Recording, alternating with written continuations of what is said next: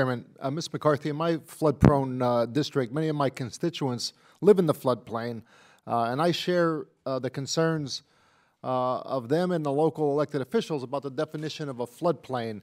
Uh, some of our local officials even sent uh, sent comments. Uh, here, I have comments uh, sent to the EPA about their concerns that the term floodplain is not clearly defined, and I ask unanimous consent that the county commissioners from With- Columbia yeah. County's letter be placed in the record. so.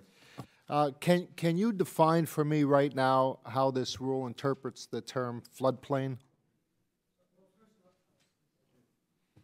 First of all, I, I think the confusion aro- arose over the fact that when we uh, spoke about floodplain, people thought we were regulating land use instead of just indicating that if you intend to pollute or destroy a wetland within a floodplain, uh, that we need to have an exchange about how to do that appropriately so you won't impact uh, down, downgrade. Is the EPA's definition of, uh, of a floodplain the same def- definition that FEMA uses to draw Yes, its flood sure. maps and Yes. determine the hundred-year floodplain? Yes. Are, are there maps of your floodplains? That, that they produce, That who produces? FEMA. FEMA produces. And they're, they're the We- same, we- they're the same, def- that would be the same definition that? Yes. That you do. Uh, y- You know, in Pennsylvania, agriculture is number one uh, industry, and, and and I certainly didn't want, I, I want to make it very clear, we did not intend that normal farming and ranching activities would stop being exempt from 404 permitting. They are exempt, and we're not intending to change that. Okay, I just wanted to know the definition of a floodplain by, by, your- by your standards, and is, they're the same as FEMA? It is, as your- yes. And, and agriculture is the number one industry, so you can imagine, you know, why the Pennsylvania farmers are, are so worried that when it rains, uh, that any wet spot, uh, within a floodplain would be federally regulated. And as I've said once before, sometimes a mud puddle is just a mud puddle. And they would like to know that, uh, that that's the case, and, and that's not uh, how they feel right now. Okay. Uh, Now, I have one more clarification I need. Railroads operate approximately 140,000 miles of right-of-way.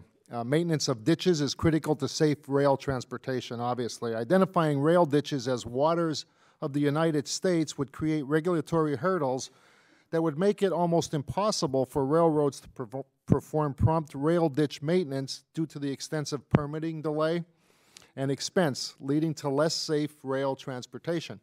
Previously, representatives from EPA have said railroad ditches would not be the subject uh, to Clean Water Act jurisdiction under this rule. Will the final rule make this clear? Uh, Senator, uh, no, Mr. Barletta, sorry. Um, I- will get, get back to you. Um, I, I know that we have expanded the definition of, of ditches uh, that would be exempt under the Clean Water Rule to make it clearer. We've addressed uh, ditches that, that run, basically drain dry land along public lands and highways. I'm not sure of the conversation that has happened with rail ditches, but I'll certainly can get back to you, and, and I'm, if, if you've heard it, I'm hoping there'll be a comment in the record, and we can take this into consideration and uh, make any necessary adjustments. Yeah, you, you would agree that this would cause a, a, a safety issue, and, and obviously, uh, those delays uh, would, would not be in the best interest. We have been really clear in this rule that any ditch that is in dry land that doesn't connect to a tributary below is not going to have the significant nexus required to be jurisdictional under the Clean Water Act. So we will see, instead of a sector-by-sector approach, we're hoping to do this in a little more uh, scientific and broad way, but we'll take a look at that issue and make sure that we've addressed And it. since I'm the last, the last speaker, thank God, uh, I think it's, it's, it's clear that from coast to coast, I could tell you, I've been called out to farms, I've been called out to, uh, you name it, the situation where they have literally shown me, I had pictures on my cell phone, li- literally shown me a- a, a ditch that is going to be regulated, or, or they feel, it. this is, this is a problem from the east coast to the west coast, and I, I hope we can, uh, we can see that it needs to be addressed. We will, thank you, sir. Thank you.